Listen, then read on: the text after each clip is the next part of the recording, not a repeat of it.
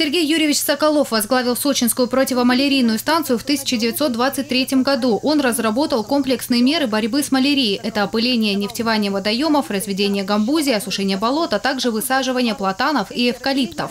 За уникальное свойство осушать болото эти деревья прозвали живым насосом, а бактериолог Сергей Юрьевич Соколов рекомендовал высаживать эвкалипты за еще одну уникальную способность – отпугивать комаров.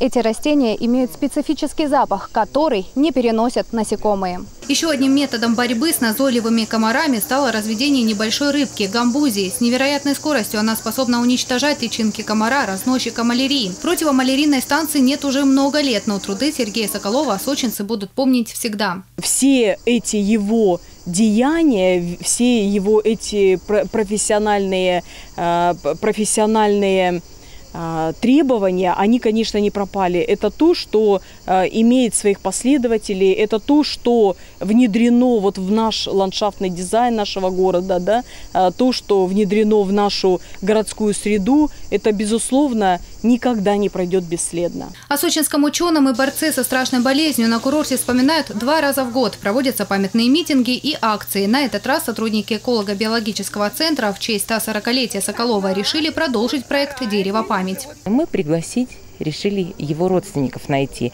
И инициативная группа города Сочи э, по сохранению памяти Сергея Юрьевича нашла родственников, списалась с ними, и они приехали.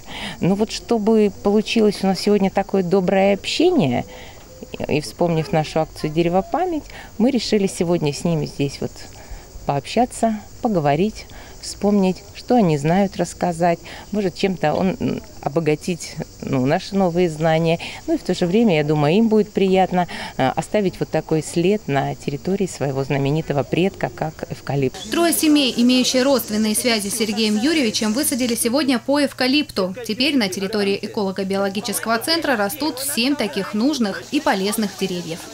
Татьяна Говоркова, Демид Даниловский, телекомпания «ФКТ».